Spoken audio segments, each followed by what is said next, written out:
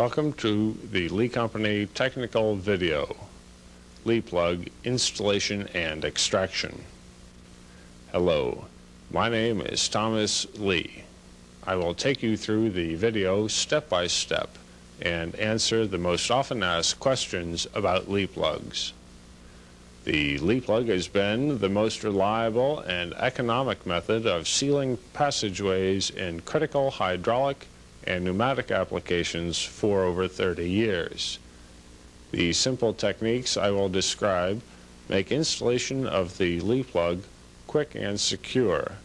And if you need to remove a Lee plug, I will show you two simple techniques which require common handheld tools. I will review the best method of inspecting holes prior to installation, and at the end, I will go over some technical tips.